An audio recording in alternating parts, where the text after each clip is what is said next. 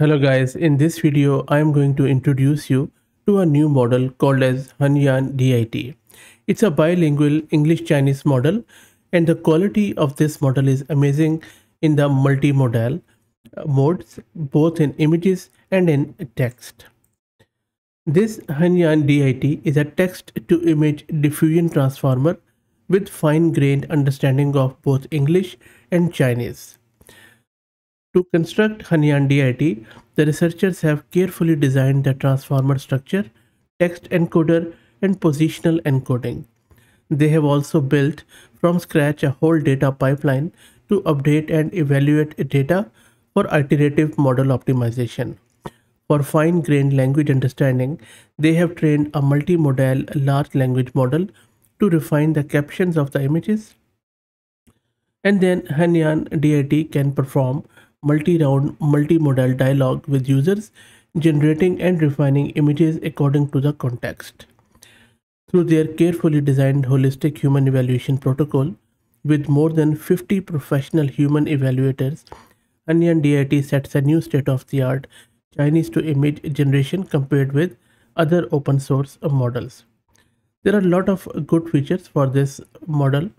If you look at this architectural diagram, this gives you a glimpse that Hunyuan DiT, as I said, it's a diffusion model in the latent space. Following this latent diffusion model, they use a pre-trained variational autoencoder of VAE to compress the images into low dimensional latent space and then train a diffusion model to learn the data distribution with those diffusion models. Their diffusion model is parameterized with a transformer to encode the text prompts they leverage a combination of pre-trained bilingual, CLIP and multilingual T5 encoder which supports both English and Chinese.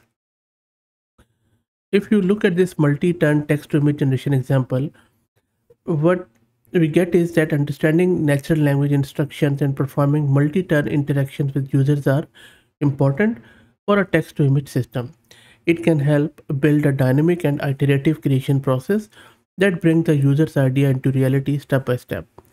In this section, what they have done is they are telling us how they have empowered Hunyuan DiT with the ability to perform multi-round conversations and image generation. They have trained this multimodal large language model to understand the multi-round user dialogue as you can see and output the new text format for image generation. On their Hugging Face model card, which I just showed you, they have a lot of benchmarking information on SDXL, PixArt, and various other.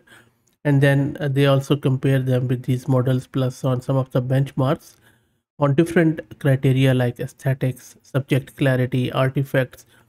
And they have found out that Hunyuan DiT has performed wonderfully well on all the benchmarks, especially on the aesthetics.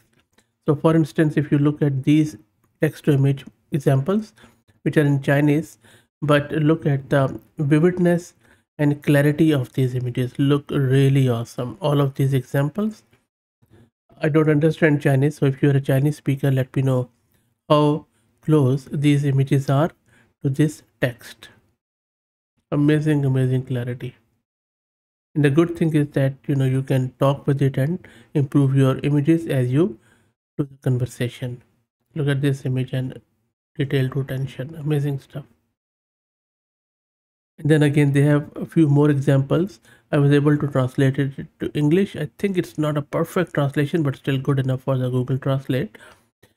In these examples uh, uh, this dit is capturing the subtleties in text to produce an image that perfectly matches the user's need. If you keep scrolling down you will see a few other examples like look at this one how good is this?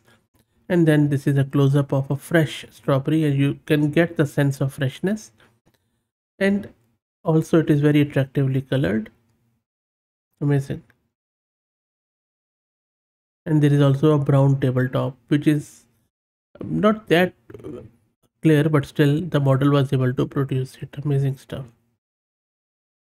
And um, this is the first model which I have seen which has produced the legs of this bee very very nicely. Amazing stuff.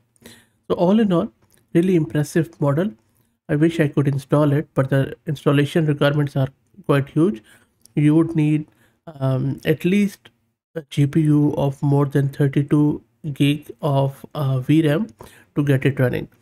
In their paper and in their Hugging Face model card, they say that minimum is 11G. I have tried it out on my Linux Ubuntu system on 22 GB of RAM, doesn't work.